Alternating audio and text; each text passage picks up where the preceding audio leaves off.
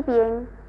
Saludamos a todos nuestros amigos y amigas, seguidores del informativo parroquial Misiones Franciscanas de Chiquitos. Dios los bendiga y acompañe siempre. Damos inicio con la oración. Concédenos, Padre, pensar siempre con rectitud y obrar con diligencia, ya que no podemos existir sin ti Danos la gracia de vivir según tu voluntad. Te lo pedimos por Jesucristo nuestro Señor. El 23 de febrero se llevó a cabo una reunión con los presidentes de los barrios que colindan con la parroquia San Francisco de Asís.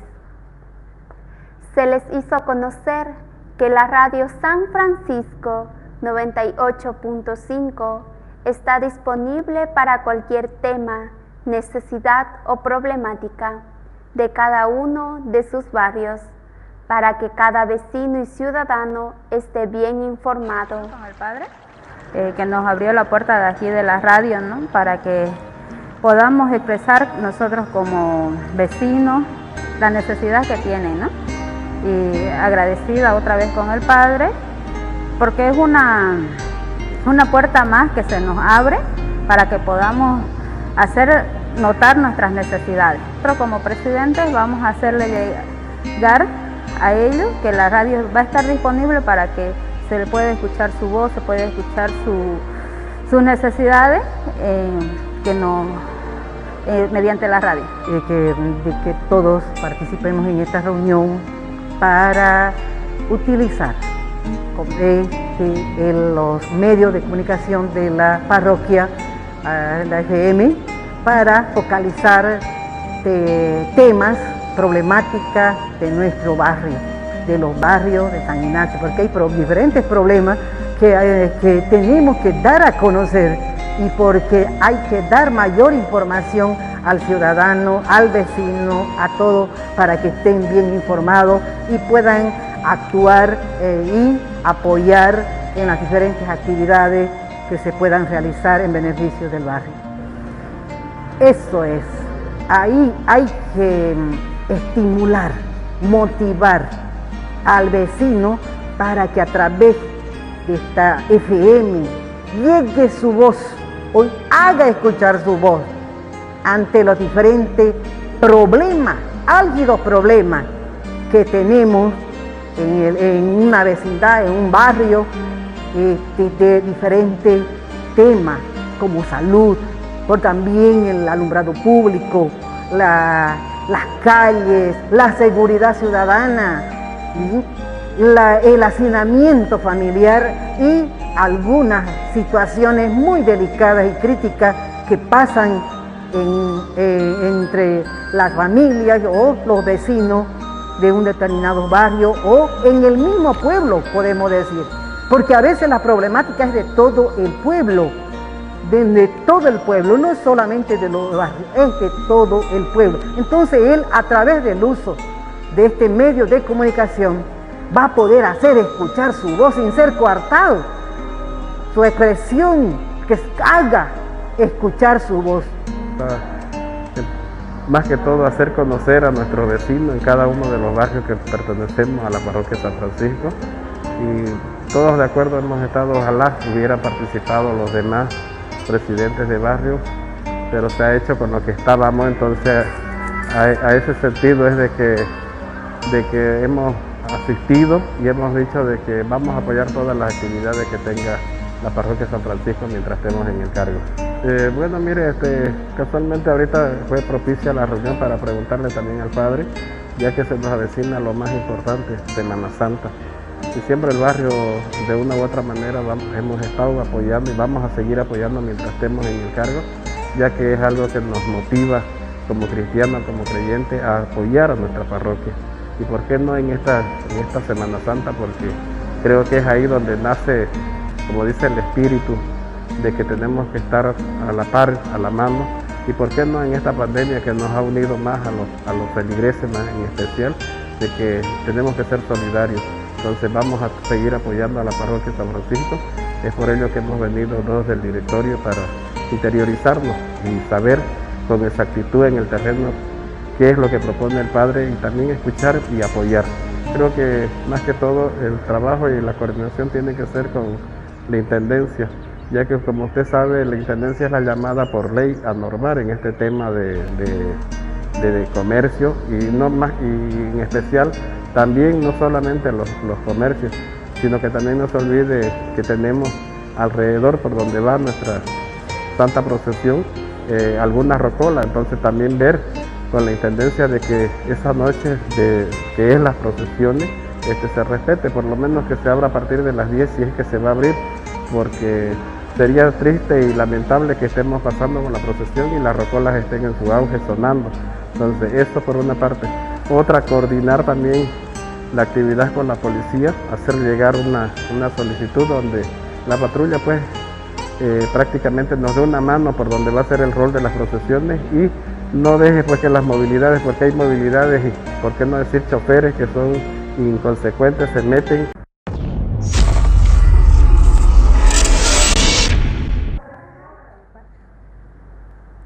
Está en marcha los talleres de formación para los ministros y ministras de la Eucaristía de las comunidades y de los diferentes barrios.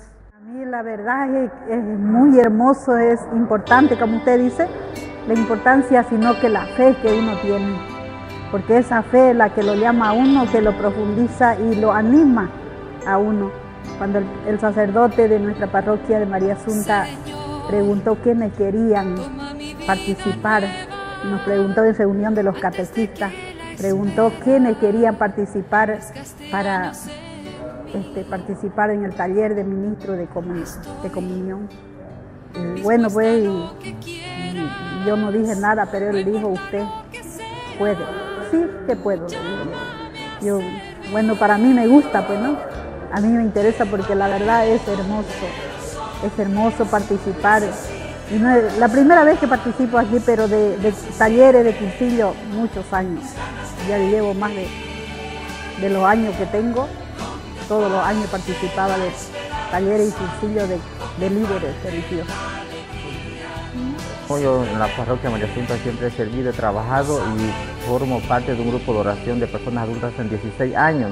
Y siempre he estado interiorizado en estas cositas así. Y como vimos que esas oportunidades que se están preparando para los ministros de Eucaristía aquí en la parroquia San Francisco y hubo esa oportunidad de que nuestro párroco vio esa, esa necesidad ¿no? y vio algunos líderes de algunas comunidades, personas más comprometidas con responsabilidad y cumpliendo también los requisitos que piden ¿no? para ser ministro de Eucaristía y nosotros nos habló a nosotros y nosotros estábamos con los brazos abiertos para recibir esto, ¿no? porque para Dios no hay que decir no, hay que decir sí siempre, ¿no? y más que todo cumplir, tener fe y seguir adelante, especialmente para el ejemplo de, de nuestra familia, ¿no? de nuestras esposas, nuestros hijos y toda la comunidad que nos rodea. Lo que me motiva a mí es porque realmente ser ministro de la Eucaristía lleva un compromiso serio para visitar a los enfermos de nuestra comunidad donde me corresponden también. Por eso este, a mí me motivó este, formarme como ministro de la Eucaristía para visitar a muchos enfermos que hay dentro de mi comunidad y poder servir desde de los enfermos de nuestra comunidad hacia Dios. Nuestro párroco siempre está coordinando con nosotros y nosotros con él y por lo tanto es una invitación que nos hizo él y agradecerles a Dios y a nuestro párroco porque gracias a, Dios y a nuestro párroco es que estamos nosotros acá para poder prepararnos y ser ministros de la Eucaristía dentro de nuestra parroquia también. Yo vengo de la parroquia Santana, ¿no? pertenezco a la parroquia Santana, el párroco de la parroquia, el padre Daniel, habló conmigo ¿no? si podía participar, como Hace años también yo soy líder religioso ¿no? y sirvo a mi comunidad y he tenido la fe que me has llamado ¿no? para que haya participado porque sabemos que la parroquia necesita mucho ¿no? y también la visita a los enfermos y ayudar a mucha gente también que necesitan acercarse mucho más a, a la iglesia ¿no? porque muchas veces hay familias que viven alejadas ¿no? Y es para eso, ¿no? para animarle y también llevar la Eucaristía ¿no? a los enfermos ¿no? allá de la parroquia y de mi, comunidad, ¿no? porque yo vivo en la comunidad San Iniciamos este mes de marzo mes dedicado a San José, declarado patrono de la Iglesia y de las familias. Pedimos su intercesión y protección sobre cada uno de nosotros. others.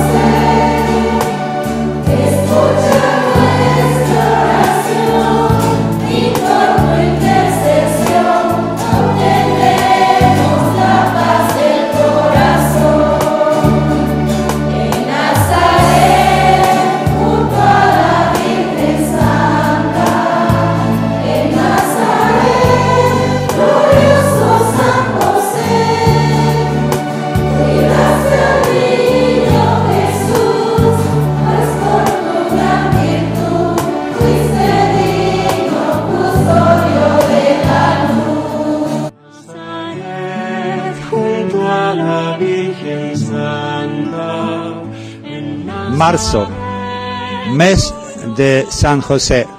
31 días para pedir por la familia, por la iglesia, por las vocaciones, por los sacerdotes, por la vida consagrada que nos enseña a amar y tener corazón de padre. ¿Y tú, por qué amas a San José? Porque quiero ser un buen trabajador porque es mi padre. Porque me enseña amar a papá y a mamá. Porque Él nos da a Jesús. Porque estás hecho por mí, te digo gracias San José. Porque me enseña a amar a María. Porque te quiero. Porque necesito estudiar y ayudar a los demás.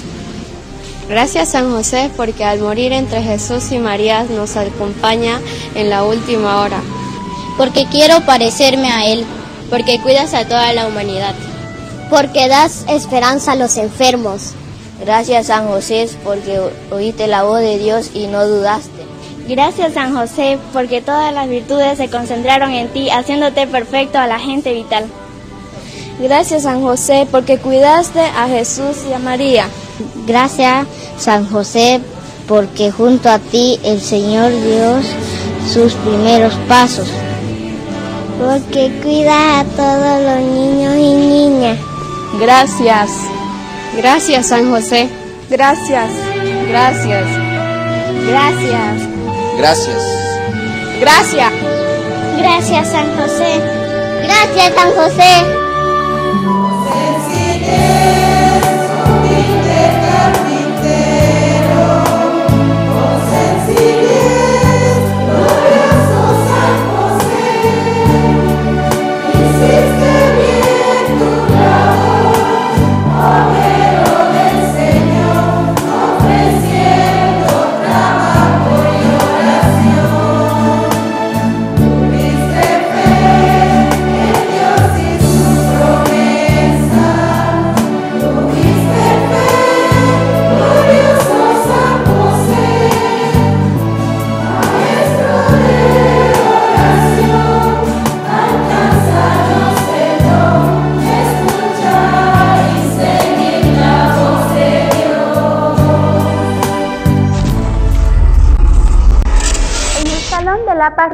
San Francisco de Asís, el 25 de febrero se llevó a cabo la reunión de las escuelas de música, con la presencia de Monseñor Robert Flock y el licenciado Luis Vaca Pinto, director de Cultura y Turismo, con los representantes de Roboré, Chochis, San Miguelito, Fundación de Ayuda Social de San Ignacio de Velasco, FACIP, Santa Ana y Paz y Bien.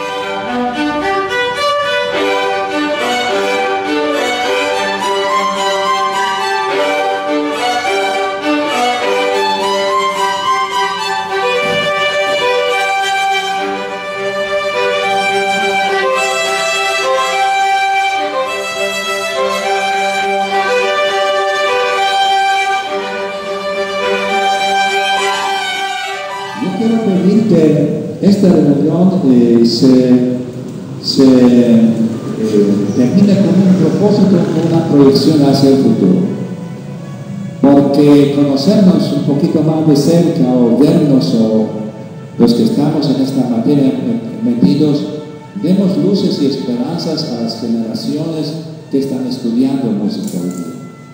Porque no queremos que esto termine así. ¿Cómo lo creo? Yo no sé si todas las escuelas eh, de música o donde hay apuntan para una cosa formal también, porque es importante. La música no puede ser un entretenimiento sin fin. Tiene que apuntar a unas metas académicos y un proceso de formación integral. Claro, la iglesia tiene 20 siglos de rescate de fe, cultura y tradición, porque patrimonio musical que hoy hay, los archivos que existen, existen solo en los templos parroquiales de las misiones y eso se está rescatando. Entonces, no solamente el clero, pero la sociedad como tal debe también sentirse corresponsable. Preguntamos que para la iglesia la música es una plataforma también de evangelización, porque donde llegó el evangelio llegó la música, canto, coro y lo demás. Y esto sí que es que no debemos olvidar y a lo largo de la historia se ha demostrado donde se guardan las costumbres fielmente y firmemente hay estos grupos musicales, hay coros, hay, hay niñez y juventud comprometida que no debemos olvidar. Ahora carecemos de esto. Al mismo San Ignacio hay una sequía en este sentido. Y a lo largo de la historia se ha demostrado, donde se guardan las costumbres, fielmente y firmemente, hay estos grupos musicales, hay coros, hay, hay niñez y juventud comprometida con la música. Ahora carecemos de esto. Al mismo San Ignacio hay una sequía en este sentido. No hay familias con este perfil cultural y musical que a veces por dichos y supuestas costumbres esperamos que tengan. Nosotros hoy día para... ¿Cuáles las metas? No? Aquí estamos y yo quiero que estemos muy prácticos. Aquí se apunta a un fortalecimiento de estos conceptos de trabajo con música.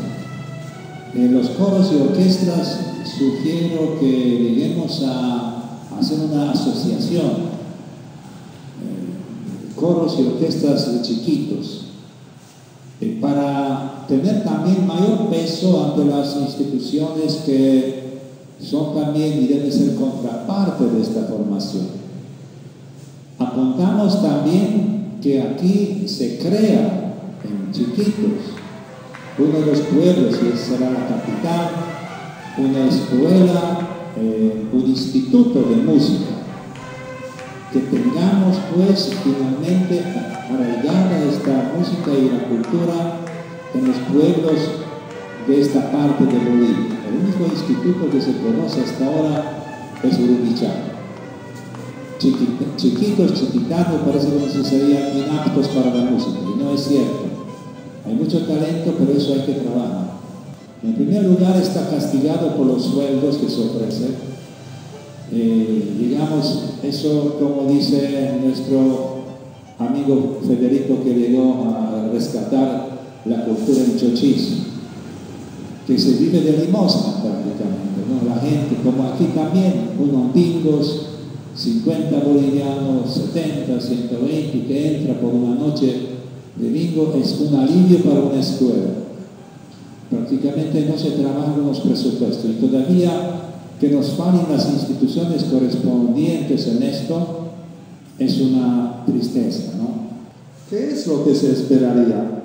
Que este fortalecimiento entre escuelas y escuelas de música o sus, sus coros y orquestas sea pues un trabajo un poquito más organizado y también eh, compartiendo experiencias y talentos también eh, orientado hacia una una institucionalización de cargos y, competencias que vienen. Por otro lado, nosotros como escuela de música, o no sé, la misma Casa de la Cultura, eh, no, no hacemos un impacto social para impresionar a la gente con nuestros talentos. Hay un desafío. Estos son las quejas, digamos, o tristezas que compartimos aquí para no quedarnos en eso, para salir y orientar y marcar pues un futuro, una proyección hacia una, una, una eh, organización, hacia un interés y apoyo interinstitucional finalmente, porque así es. La iglesia lo que puede se hace, Monseñor en su parte también, por donde puede también apoya esto, pero mucho dependerá también de cada uno de sus responsables, sus, sus gerentes y sus agentes de música.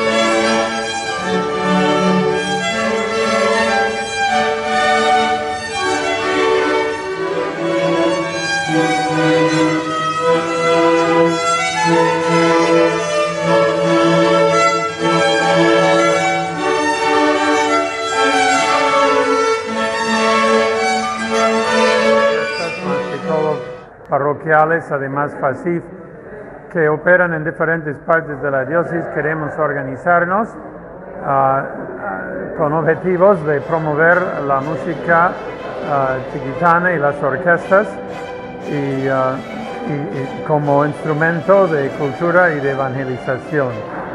Superar los muchos problemas que tenemos, sobre todo económicos, para que estos proyectos que empezó hace siglos con la primera evangelización florezca nuevamente en la nueva evangelización.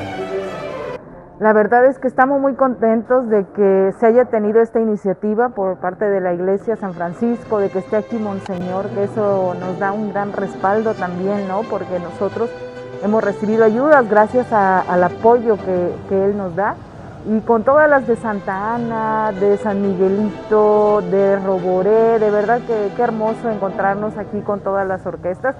Y algo bien importante que, es, es que nos unamos, el unirnos para poder fortalecer nuestras orquestas, nuestros alumnos se vean beneficiados, entonces eso nos alegra porque además que se está hablando de hacer una asociación de todas las orquestas de aquí de chiquitos para poder juntos hacer diversas actividades, como es lo que mencionaban también el instituto, ¿no? Un instituto en donde nuestros jóvenes se beneficien teniendo una, una licenciatura, ¿no? Entonces, de verdad que como FACIL estamos contentos de haber recibido esta invitación, participando y con mucho entusiasmo para que de verdad podamos organizarnos y hacer cosas en conjunto.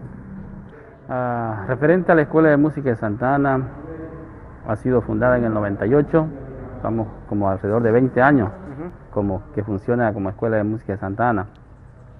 Dentro de sus programas que tiene la Escuela de Música es formar niños eh, talentosos en los instrumentos que se, se llaman violín, cello y contrabajo. Y la guitarra, que es especialmente la que va a acompañar pues, a las distintas celebraciones que tiene nuestra parroquia. Bueno, ahora estamos nosotros hace dos años ya apoyados por el municipio de San Ignacio de Velasco. Antes los otros años era sustentable por una ONG que lastimosamente pues llegan a su límite la ONG y se tienen que, y se tienen que retirar, ¿no? entonces ahora estamos apoyados por el municipio de, San Ignacio. Ha sido una gran oportunidad, un gran momento hoy esta tarde de poder estar aquí reunidos con los representantes de las diferentes orquestas parroquiales de nuestra diócesis. Yo creo que ha sido un éxito y bueno, el trabajo está por delante el proyecto de las orquestas está activo y más que todo queremos para el mes de julio hacer ya un lanzamiento local de todas nuestras orquestas parroquiales y creo que va, a surtir efecto, ¿no? gracias a la colaboración especialmente de los profesores, de los padres de familia y también de todas nuestras autoridades, de nuestro obispo de la diócesis también que está apoyando estas actividades, porque son son frutos de, nuestra cultura, de nuestras tradiciones, la música, y es por eso que es muy importante que sigamos adelante, más que todo ya organizándonos, porque primero hay que organizarse y luego pues trabajar gracias al esfuerzo de los niños y de los padres de familia también, de los niños que están ya en las diferentes escuelas de nuestra parroquia. Porque eh, las orquestas justamente pues nacieron parroquiales, ¿no? Entonces, ahora se quiere retomar y se está retomando con mucha fuerza, ¿no? Gracias, ya ahora tenemos siete parroquias que tienen orquesta parroquial y bueno, eso yo creo que es un gran desafío también para nuestra evangelización a través de la música en nuestra diócesis. Bueno, informarles que nuestra escuela va así siempre al pendiente de los niños. Eh, nosotros organizamos a veces eh, un vivo, una rifa, así para poder comprar lo que falta, lo que son las cuerdas o los arcos. Eh, siempre, ¿no? Tratando de poder colaborar, porque no siempre la iglesia puede hacerlo todo. Y como tenemos a un profesor, también ayudamos a poder pagar a un profesor, de esa manera siempre estamos al pendiente de los niños para que vengan los niños, no se queden atrás. Lamentablemente la pandemia a todas las escuelas de todo lo que es la chiquitanía nos ha hecho fallar a todos, pero todavía tienen esa necesidad de participar en un grupo, entonces lo, que, lo único que uno tiene que hacer es mandar a los niños para que sigan, que no se queden en la casa, que, que vengan, porque igual las escuelas están esperando.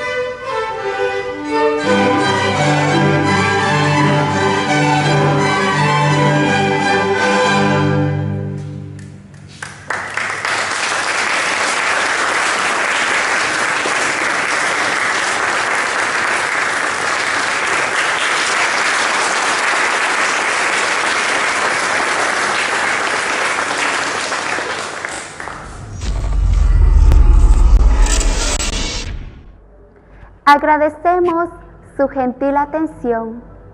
San José, protector de la Santa Iglesia, ruega por nosotros.